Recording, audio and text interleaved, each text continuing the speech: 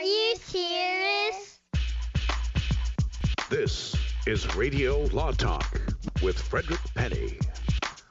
So, in the mid 1990s, these two uh, intelligent women, I'm going to say that because they thought of this apparently, Switzer and Spreckman came to Judge Judy and said, and by the way, she wasn't a judge.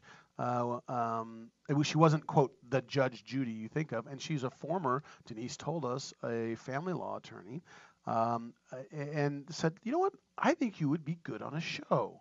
Let's do this show. So the show starts and debuts in 1996, where uh, these two individual ladies that kind of came up with this, uh, uh, Switzer and uh, Spreckman, uh, then got fired for some reason all of a sudden.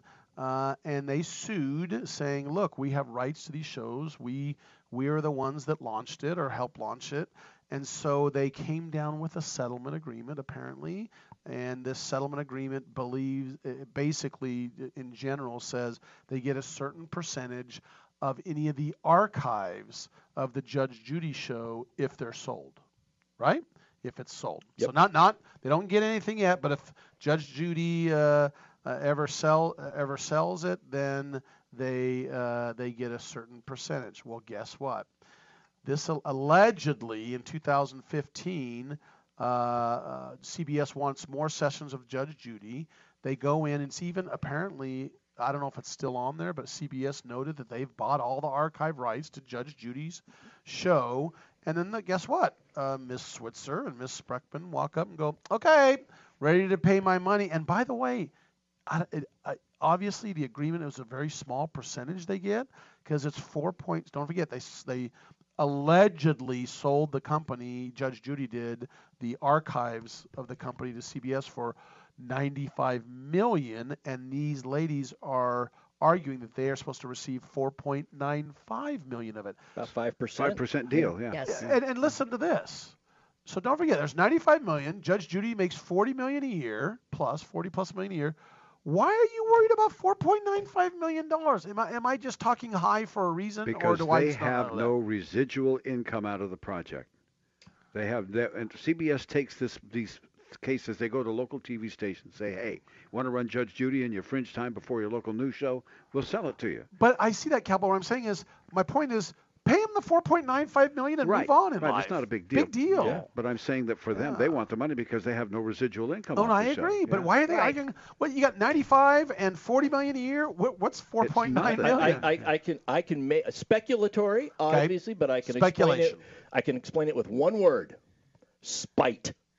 Could be. Yeah, Spite. it does It because just it, it reeks of being spiteful. because they came up with the idea. That's right. And then when Judge Judy first started, she became the personality that ran with the show. And, oh, Right? and then when and then when they were ousted, the reason that Judy and Judge Judy and CBS don't want to pay these folks, it just to me, Fred makes a great point. It's five. It's four point, you know, five million. She makes forty-two million a year. It was a ninety-five million dollar sale of the library. Guess what? CBS is not going to pay 95 million for a library if they don't expect to make at least 10 times that in episodes. At, at least in And- sure. and, yeah, and yeah. you know, so why not throw these two people a bone for creating it at 4.5? Just everybody go on and do it. And it- 4.95, yeah. And, and it's it just feels like spite. Well, here's the interesting thing, though. So, so what is their argument? Okay, let, now let's get into. Okay, let's put that aside. They're going to argue that is CBS. They come up and go, oh, by the way, it was never officially consummated. That they in the written uh, contract reflects that it was contemplated that they would do that, but it was never finalized. And so their argument now is there was never an agreement, therefore we don't owe you 4.95 million, even though CBS on its website, at least at one time, said, "Hey, we just bought the archives of Judge Judy." Basically, Yeah.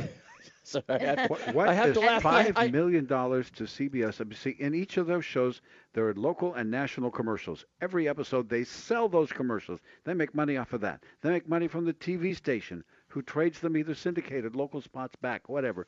They make money every direction the stream flows. The, the green dollar is hitting them in the hand Uh, uh, every phase. I'll, I'll, I'll give you I'll give you an example that even further bolsters that argument. You ever heard of a term called pilot season?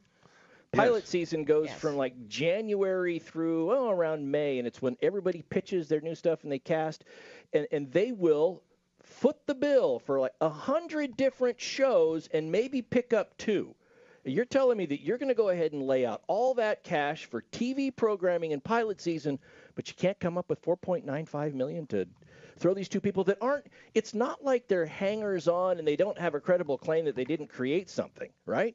They have that claim. It just they yeah. just don't want to pay it. There's They something pay it. Behind the scenes that we don't know about. Well, That's there's what's going on. something with the CBS attorneys and with Judge Judy. There's something going on there. Isn't um, she's Judge Judy's trying to claim that she has attorney-client privilege with CBS attorneys. Well, that that's a motion. They've got motions about uh, d- discovery issues right now. So, the, and actually, they've hired an independent referee, and the judge isn't going to hear these motions. Th- that's kind of an anecdotal thing of really what's why this is going on. But the point is, Denise, you're saying they're spending all kinds of lawyers' money on just doing these motions and trying to figure out what's attorney-client privilege. Pay the 4.95 million. It's- The one thing that I see with Denise here is, well, wait a minute. You came out and you announced to the public that that we bought the li- that CBS bought the library, and now you're saying that that didn't really happen. Okay. Uh, if you made the announcement that you did, and now you're saying that didn't really happen, then we need to see what actually happened to see if it constructively happened. And Judy is saying, I don't have to tell you what we constructively may have talked about because it's all protected attorney-client privilege. That's right. I think she's And- trying to shield herself. Exactly. I, I just I know- agree with Fred. Which I agree, though, that attorney-client privilege. It was an in-house attorney. That's attorney-client privilege. This sounds like this is a case of the talent getting bigger than the show and the producers and driving the bus. And saying, look, I- I'm in charge here. Look, I'm the talent. It's the Judge Judy show. It's not you two ladies show. I made it what it is. I'm taking the money. I'm keeping every every million. I, I'm going to drop the mic at that. Yeah. Because that's exactly what I think. Too. All right, mic Yeah. drop. That means we're moving on to the, a very important man ordering to repay. So there's a there's a guy in Missouri.